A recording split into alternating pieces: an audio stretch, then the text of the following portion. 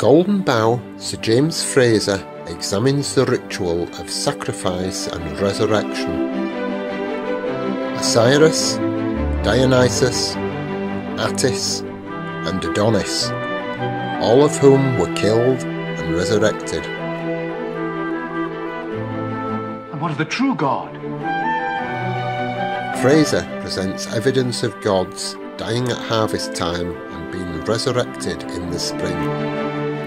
Sir James Frazer believed we progressed from magic to religion to science.